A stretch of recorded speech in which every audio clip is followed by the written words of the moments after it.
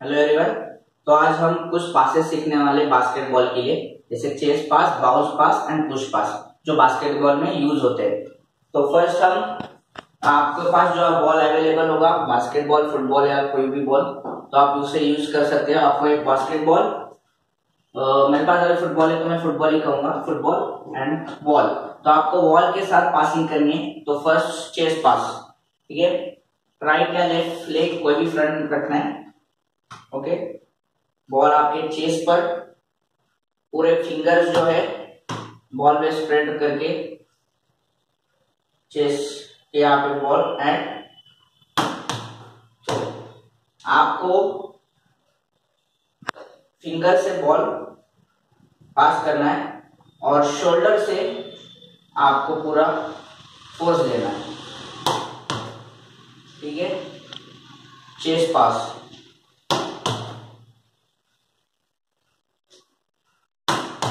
ठीक है?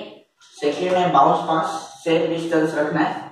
और सेम चेस पास जैसे करते हैं, वैसे बाउंस पास करना है। बट आप इसको आपको बाउंस करना है। सेम राइट और लेफ़्ट दोनों में से कोई भी एक leg front same bounce pass के लिए आपको बाउंस ये करना ठीक है? बाउंस पास सेम आपको फिंगर से ही आपको उसको मूव करना है। आप जब प्रेस करोगे तो आपको fingers okay same bounce pass one more time okay now same third pass तो इसमें आपको एक ही हैंड यूज़ करना है राइट एंड लेफ़्ट तो फ़र्स्ट हम राइट हैंड यूज़ करेंगे. तो राइट हैंड यूज़ करते हो लेफ़्ट लेग फ्रंट होना चाहिए, ठीक है?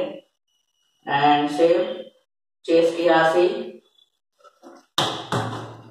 only one use your right leg use your right hand left leg front use your right hand and push pass